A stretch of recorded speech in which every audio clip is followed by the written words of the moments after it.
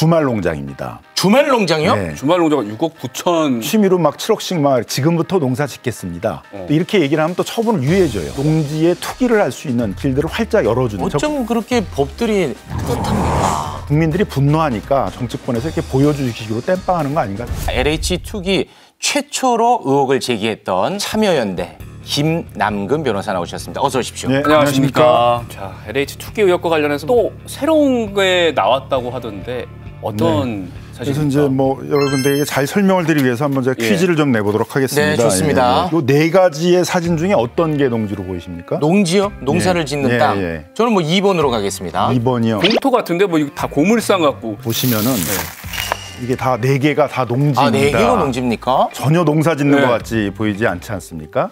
그래서 저희가 이제 시흥시 과림동이라는데 네. 한 동네에 이제 이 농지 거래들을 한번 조사를 아, 해봤습니다. 삼기 신도시 예정지군요. 예, 여기가 농지니까 당연히 일년에뭐 거래가 한 건이나 두 건 있을 음. 만 그렇게 해야 되는데 삼년 네. 동안 무려 한 131건 정도의 거래가 있었습니다. 예. 어. 그리고 저희가 조사를 해보니까 그중에 한 37건 정도가 좀 이상 지구가 보이는 그러한 이제 투기 목적의 어. 어떤 거래가 아니었나 이런 것들이 이제 보이게 되었습니다. 네. 예를 들면 21억짜리 예. 농지가 있어요. 네. 우리 농토의 생산성이 얼만큼 나올 가능성이 없잖아요.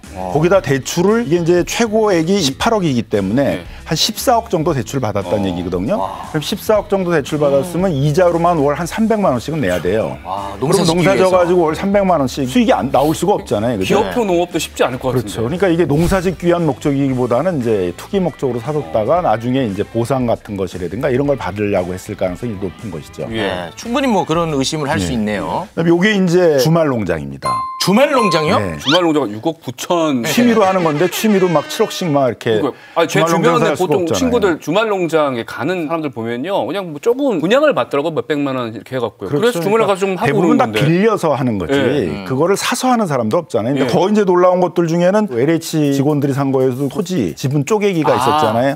여기도 마찬가지로 이제 십시일반 돈을 모아가지고 같이 사가지고 이렇게 지분 쪼개기를 아, 그러니까 하는 소유자가 왜세 세세 명이. 있다. 네, 예, 그래서 예. 12억 2,800만 어. 원짜리 이제 농토를 같이 사가지고 이제 지분 쪼개기 같은 것들을 이제 시도하려고 했던 것이죠. 그다음에는 이제 주소입니다. 주소. 아홉 건을 저희가 이제 이상 징후를 봤는데 주소지 중에서는 뭐 송파에 주소가 있다라든가 강남에 있다라든가 뭐 동대문에 있다라든가 뭐 하남에 있다라든가 그분들은 주말 거. 농장이 아니고 그냥 계속 그렇죠. 농사 농사를 짓는 분들이죠. 계속 농사를 짓겠다는 분들이 출퇴근을 하면서 농사를 짓기는 너무 먼 거리에 이제 있었다는 것들이죠.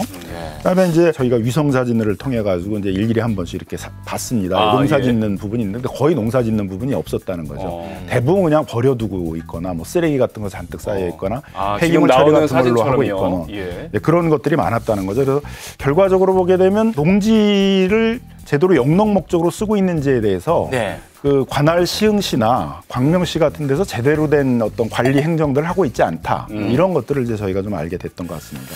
자, 그런데 농지 사는 거 자체가 문제는 있는 건 아니잖아요. 그게 그렇지가 않은 게 예. 우리가 이제 헌법에 경자 유전의 원칙이라고 있죠.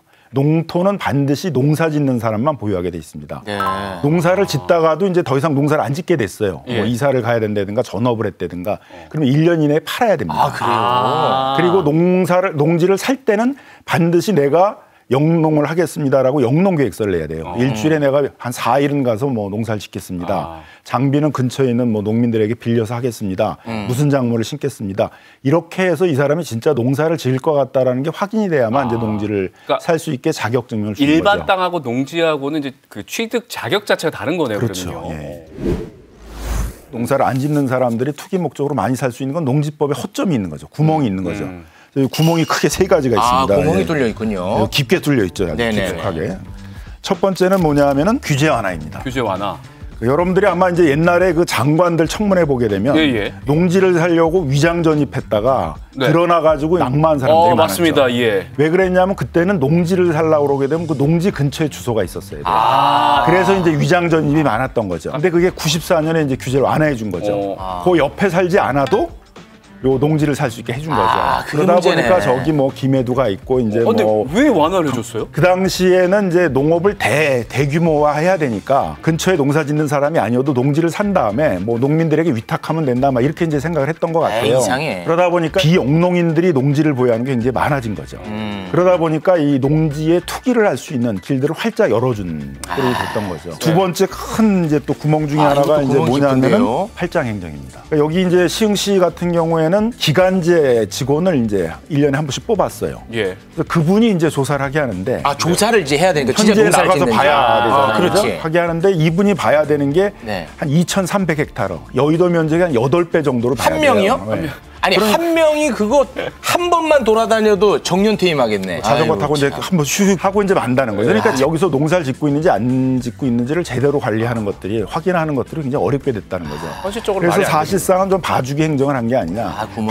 행정을 한 게 아니냐 이제 이런 생각이 든다는 거죠. 예. 그 다음에 문제는 뭐냐하면은 이제 손방망이 처벌이라는 겁니다. 어렵게 발견했어요. 음. 농사 짓지 않는구나. 그러면은 이제 처벌을 해야 되는데 형사 처벌이 5년 이하의 징역으로 돼 있는데 네. 실제로 그 농지법을 위반한 판결도 대법원까지 간것 중에 실형이 선고된 건 딱 1.3%밖에 안 됩니다. 아, 아 손방. 그러니까 대부분 다 벌금형을 받게 되니까 그리고 또 허위로 영농계획서를 내 가지고 농사를 짓지 않으면서 투기 목적으로 보유하고 있으면 이걸 매각 명령을 내릴 수 있도록 돼 있어요. 네. 그럼 매각 명령을 내리면 와서 아 지금부터 농사 짓겠습니다. 또 이렇게 얘기를 하면 또 처분을 유예해줘요.